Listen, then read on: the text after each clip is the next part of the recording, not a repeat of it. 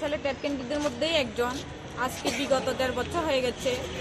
যখন পরীক্ষা দিয়েছিলাম, তখন খুব আশা করেছি যে খুব তাড়াতাড়ি চাকরি হয়ে যাবে। যেহেতু এত কম পাশ করেছে, চল্লিশ হাজারের মধ্যে তিনশো একষট্টি জন পাশ করেছে। কিন্তু নানা আইনগত জটিলতা, এটা লেট হয়েছে। এখন কোনো আইনগত জটিলতা নেই। কিন্তু তবুও আমাদের কোনো কোনো কিছুই আমাদের আশ্বাস দিচ্ছে না। অনেকবার সিএম স্যারের সাথে দেখা করার জন্য আমরা অ্যাপয়েন্টমেন্ট নিয়েছিলাম, কিন্তু উনি তো আমাদের সাথে দেখাই করছেন না। বাজেট অধিবেশনে সিএম স্যার বলেছিল যে ট্যাট পরীক্ষা একটা ট্যাট পরীক্ষার যে শিক্ষক নিয়োগ, এটা একটা গতিশীল প্রক্রিয়া। এটা সবসময়ই থাকবে। তাহলে কোথায় গেল? দুই হাজার তেইশেও তো পরীক্ষা নেওয়া হয়নি। কিন্তু দুই হাজার চব্বিশে আমরা খুব আশা করে আছি যে আমাদের দুই হাজার চব্বিশে আমাদের নিয়োগ করা হবে। আমরা খুব আশা করে আছি যে দুই হাজার চব্বিশে হয়তো বা আমরা নিয়োগ পাবো, আমরা অফার লেটার পাবো। এখন জানি না আমাদের কপালে কি আছে। এখন মানে পুরো ডিপ্রেশনে চলে যাচ্ছি। যে এত কষ্ট করে পরীক্ষা দিয়েছি, তখন বলেছিল যে আমরা যোগ্যতা থাকা সত্ত্বেও কেন আমরা আমাদের চাকরি দেওয়া হচ্ছে না? কেন আমরা এই চাকরি থেকে বঞ্চিত হচ্ছি? আজকে অনেকবার আজকে পাশ করা সত্ত্বেও আমাদের কেন রাস্তায় নামতে হচ্ছে? কেন? এটাই এখন সিএম স্যারের কাছে একদম করজোরে, হাত জোর করে আমার অনুরোধ, যেন স্যার আমাদের অতি সত্ত্বর নিয়োগ করে। রাজ্যে যে যে পরিমাণে শিক্ষক সংকট, ওটাও দূরীকরণ হবে আর শিক্ষা ব্যবস্থাও উন্নত হবে। আমাদের উদ্দেশ্য তো একটাই, আপনারা সবাই জানেন যে বিগত দু হাজার বাইশ সালে প্রায় উনচল্লিশ হাজারের মধ্যে আমরা মাত্র তিনশো একষট্টি জন পাস করেছি।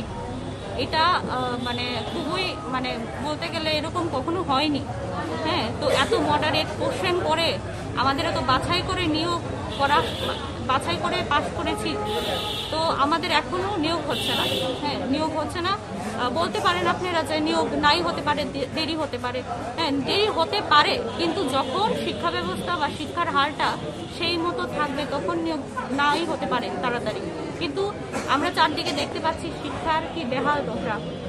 হ্যাঁ এই এরকম থাকা সত্ত্বেও আমাদের নিয়োগটা এখনও হচ্ছে না। এটা তো শুধু আমাদের নিয়োগ না, আমাদের সব সমাজের, আমাদের ছাত্রছাত্রীদের অভিভাবকদের সবারই মানে একটাই কথা, সেটা হলো শিক্ষক নিয়োগ করা।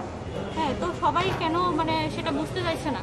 আমাদের গভর্নমেন্ট আমাদের শিক্ষা দপ্তর, সেটা নিয়ে কোনো কেন ভূমিকা গ্রহণ করছে না, সেটাই আমাদের বলার। আর তাছাড়া দু হাজার বাইশ সালের পর থেকে তো টেটের নিয়োগের কোনো কিছু হয়নি। দু হাজার বাইশ সালেই লাস্ট হয়েছিল। তো সব মিলে সবগুলি স্কুলে শিক্ষকের একটা স্বল্পতা রয়েছে। তার মধ্যে ছাত্রদের কি হচ্ছে? শিক্ষক স্বল্পতা, ছাত্রদের ছুট হচ্ছে। ছাত্র ছুট বলতে ওরা কি করছে? কেউ কেউ যারা মানে গরিব মানুষ, ওরা হয়তো বা একদম পড়াশোনা বন্ধ করে দিয়েছে। আর যারা মোটামুটি পারবে, ওরা প্রাইভেট স্কুলে কোনো রকমভাবে ভর্তি করিয়েছে। কারণ সব মা বাবাই চায় বাচ্চাকে যতটুকু পারে শিক্ষাদান, দানের সুযোগ করে দেওয়ার। তো এরপরে এইরকম হচ্ছে।